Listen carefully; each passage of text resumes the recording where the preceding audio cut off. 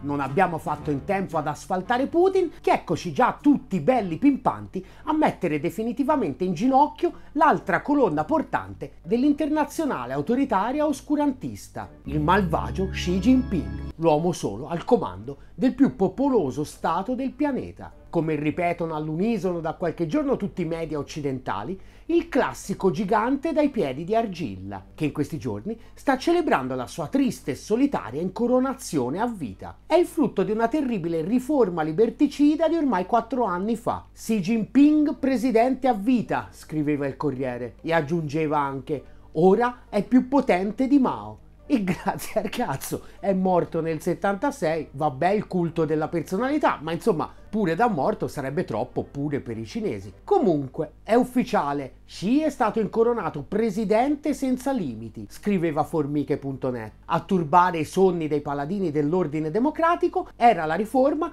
che rimuoveva il limite a due soli mandati per la carica di segretario del Partito Comunista Cinese e quella di presidente della Repubblica Cinese, che sostanzialmente coincidono. E così ora Xi Jinping, con ogni probabilità, dopo dieci anni, riceverà un terzo mandato. Certo, non siamo ancora ai livelli dei sanguinari regimi dittatoriali di Netanyahu in Israele, durato 15 anni, e soprattutto quello della Merkel in Germania, durato 16, ma la direzione è chiaramente quella. Esattamente come Putin, inoltre, anche Xi è un dittatore isolato. All'estero è schifato dall'intera comunità internazionale. Non ho afferretto, scusi. Come dici?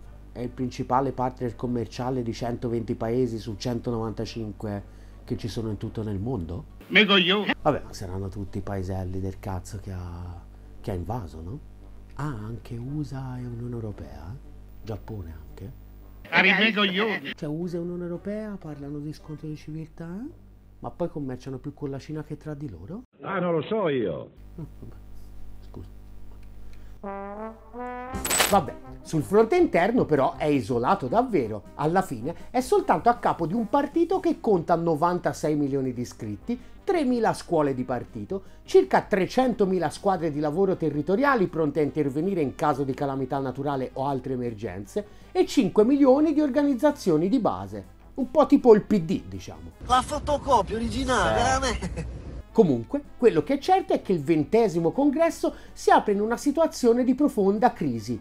L'economia cinese sarebbe vicina al collasso, l'ennesimo. Il primo risale ormai a quasi 30 anni fa, era il 1995 e Foreign Policy titolava Il collasso cinese in arrivo. Piccola variazione sul tema sei anni dopo. Gordon Chang è un prestigioso saggista e avvocato sinoamericano, citato spesso da Edward Luttwak è ascoltatissimo negli USA sia dal Dipartimento di Stato che da quello della Difesa. Nel 2001 ha pubblicato questo best seller, il crollo in arrivo della Cina. Prevedeva che il dragone sarebbe collassato entro il 2011, poi nel 2011 ha spostato la data al 2012 e poi a dicembre 2012 al 2013, con tanto di articolone sull'Imes, lo stesso sostanzialmente di 11 anni prima, quando si dice un evergreen. Nel frattempo, nel 2004, anche l'Economist aveva previsto un crollo rovinoso dell'economia cinese. 2008, il rapido collasso economico cinese spinge verso misure disperate. 2011, perché la Cina collasserà?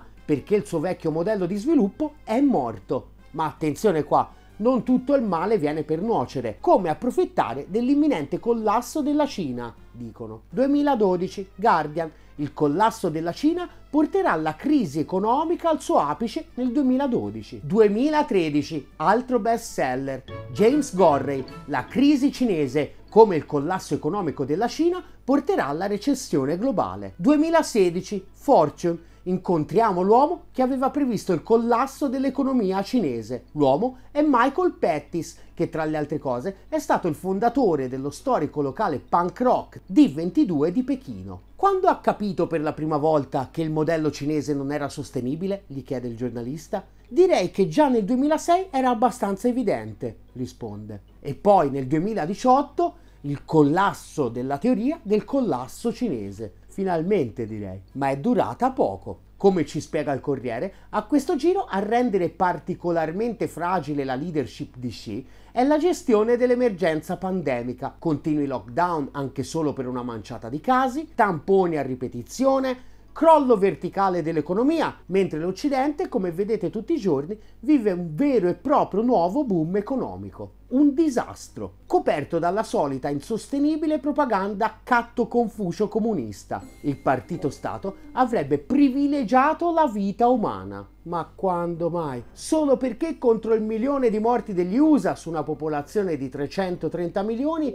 la Cina su una popolazione di 1,4 miliardi, oltre quattro volte tanto, ha superato a malapena quota 5.000. Facile quando sei una dittatura. Così, per curiosità, quanti morti servono per essere una vera democrazia? La Russia, ad esempio, ne ha contati circa 380.000 in proporzione sempre decisamente meno che gli USA, ma ci siamo quasi. Bastano? Il malcontento nei confronti della dittatura personale di Xi ha bruscamente interrotto l'idillio artificiale dei preparativi del congresso quando nella capitale sono cominciati ad apparire striscioni abusivi di protesta su ogni cavalcavia. Oddio, su ogni ogni, forse no, su uno che ha svoltato. In poche ore è diventato in assoluto il cavalcavia più famoso della storia di tutti i cavalcavia. Come diceva Warhol, nella società dello spettacolo e della propaganda totale, ognuno avrà i suoi 15 minuti di celebrità globale. Non so però se con ognuno intendesse anche cavalcavia. D'altronde era inevitabile. I cinesi del governo autoritario del PCC non ne possono più. Secondo un recente sondaggio di Edelman Trust Barometer, a dichiararsi non soddisfatti dell'operato del governo sarebbero ormai tantissimi, circa 130 milioni, il 9%. Il 91% invece continua a dargli fiducia, il 9% in più rispetto all'anno precedente, un record assoluto. Negli USA sono sotto il 40%, ma anche qui facile eh, quando sei una dittatura. E allora chiediamoci quanto deve essere grossa la percentuale di cittadini a cui stai sui coglioni per essere una vera democrazia? In Russia, prima della guerra, si dicevano fiduciosi nell'operato del loro governo 37 cittadini ogni 100, in Nigeria 34. Bastano per essere considerati a tutti gli effetti una democrazia? In Norvegia invece la fiducia, secondo l'OECD, era al 78%, in Finlandia all'83%. Basta per considerarle dittature? Tutta questa sfiducia nell'operato di Xi e del Partito Comunista è abbondantemente giustificata. Come ci ricorda Santevecchi sul Corriere, infatti, la crescita della Cina sta rallentando drammaticamente, un misero più 3,2% per il 2022. E hai voglia a provare a buttare fumo negli occhi, ricordando che sei l'unica economia del G20 a non aver conosciuto recessione negli anni di pandemia. La realtà è che fino a poco fa crescevi a doppia cifra o meglio, ce lo volevi far credere, perché a noi queste tue statistiche non ci hanno mai convinto. Asia News, l'economia cinese corre, ma le statistiche sono false. Il fatto, boom cinese? E se i dati economici fossero fake? Inside over, Cina, dati falsati e crescita gonfiata. Quello che non capisco è, ma se hai sempre truccato i dati, perché ora hai smesso? Cosa ci nascondi? L'hai fatto solo per creare confusione nella testa di Rampini?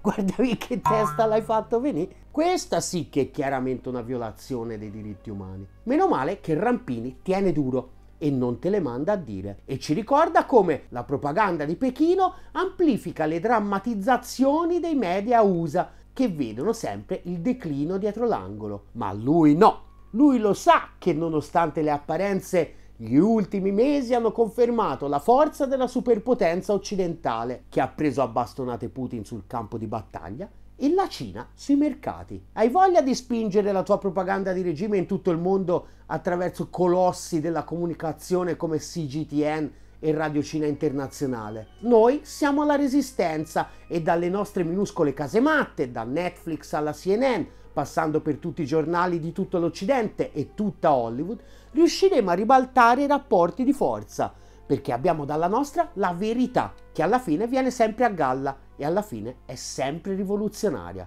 E così Prenditi queste sentenze rampiniane che come sciabole brandiscono il muro delle tue menzogne. Il ruolo del dollaro è sostenuto da un'economia di mercato garantita dallo Stato di diritto. Capito, eh? Non ho capito un cazzo. Non dalla potenza di fuoco della finanza, non dal Fondo Monetario Internazionale, la Banca Mondiale, la Nato, dallo Stato di diritto.